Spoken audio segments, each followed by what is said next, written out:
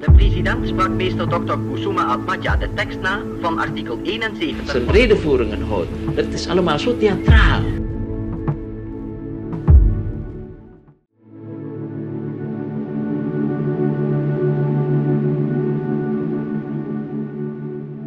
Sejak kemerdekaan, Indonesia tercatat memiliki tujuh orang presiden, mulai dari Insinyur Soekarno, Soeharto, B.J. Habibie, Abdurrahman Wahid alias Gus Dur, Megawati Soekarno Putri, Susilo Bambang Yudhoyono, hingga yang teranyar Joko Widodo.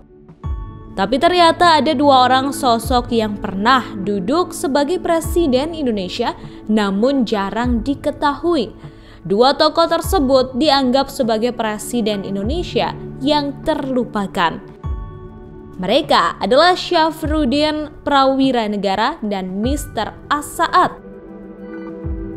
Syafruddin Prawira Negara pernah menjabat sebagai presiden atau ketua pemerintah darurat Republik Indonesia atau PDRI saat pemerintahan Republik Indonesia yang berada di Yogyakarta jatuh ke tangan Belanda. Meester Dr. Kusuma artikel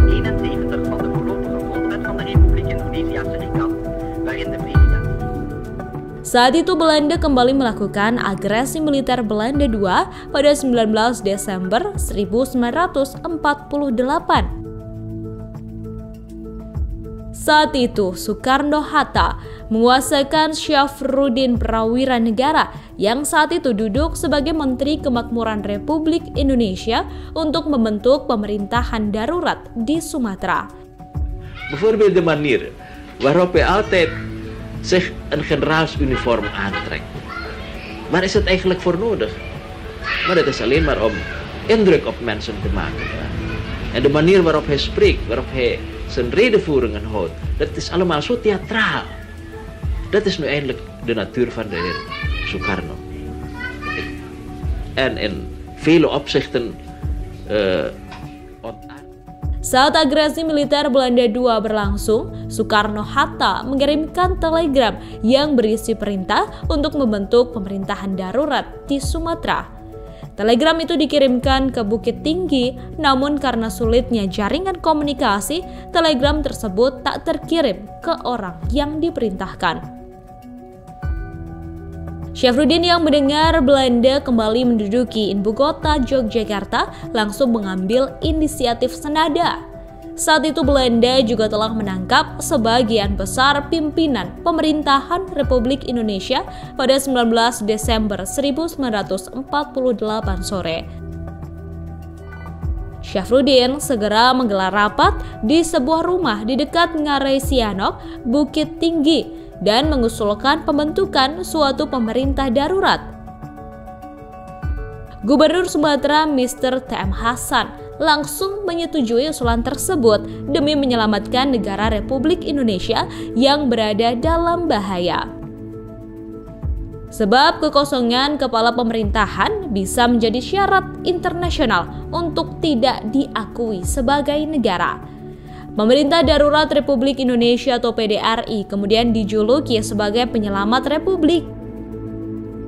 Dengan dibentuknya PDRI di Sumatera Barat, pemerintahan Republik Indonesia masih tetap ada meski Soekarno-Hatta ditangkap oleh Belanda di Yogyakarta. Saat itu Syafruddin menjadi ketua PDRI dan telah membentuk sebuah kabinet yang berisi beberapa orang menteri. Meskipun saat itu istilah yang digunakan adalah ketua, namun kedudukannya setara dengan presiden.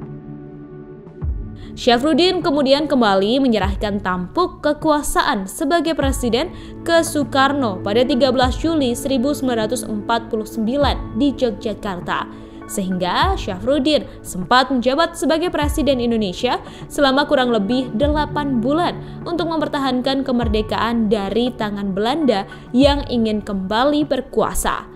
bahwa saya bahwa saya untuk dipilih untuk dipilih menjadi presiden Republik Indonesia Serikat menjadi presiden Republik Indonesia Serikat Setelah menyerahkan jabatannya, Syafruddin tetap terlibat dalam pemerintahan dan menjadi Menteri Keuangan. Tokoh lain yang sempat menjadi presiden Indonesia adalah Mr. Asaat.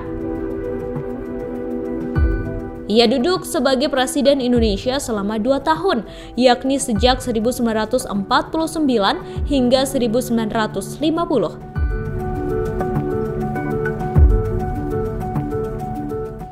Saat Belanda melakukan agresi militer kedua pada 1948, tokoh pemimpin Indonesia yakni Soekarno-Hatta dan beberapa orang dalam kabinet ditangkap. Kemudian kekuasaan pemerintah dialihkan ke Sumatera Barat di bawah Syafruddin Prawira Negara. Untuk mengakhiri konflik yang terjadi antara Indonesia dan Belanda, diadakan konferensi Meja Bundar di Den Haag pada Agustus 1949.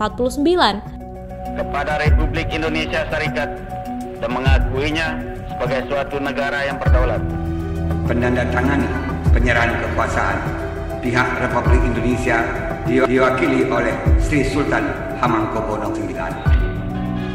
Dalam konferensi tersebut muncul beberapa perjanjian. Satu di antaranya adalah penyerahan kedaulatan dari Belanda ke Republik Indonesia Serikat atau RIS. Saat itu RIS menjadi taktik Belanda untuk memecah Indonesia. Namun juga menjadi cara para pemimpin Indonesia agar Belanda mengakui kedaulatan Indonesia secara penuh. Perubahan itu membuat Indonesia terbagi menjadi 16 negara. Satu di antaranya adalah negara Republik Indonesia yang wilayahnya berada di Yogyakarta.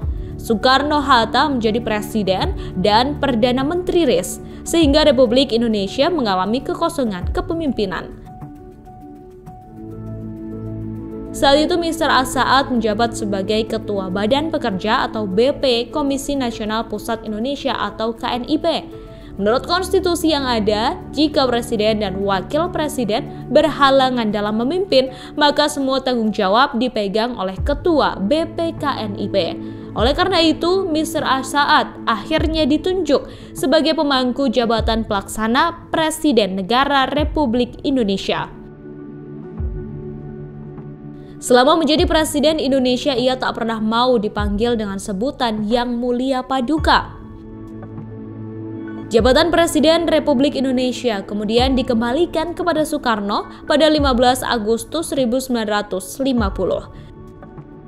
Setelahnya, Asaat menjabat sebagai anggota parlemen dan menteri dalam negeri Kabinet Natsir Meski begitu, Asad sempat bergabung dengan gerakan oposisi pemerintah daerah terhadap pemerintah pusat, yakni Pemerintahan Revolusioner Republik Indonesia atau PRRI. Ia bergabung dengan PRRI saat di Sumatera Barat. Pemerintah pusat kemudian menyerang PRRI hingga membuat Asaat hidup di hutan di Sumatera Barat dan Sumatera Utara.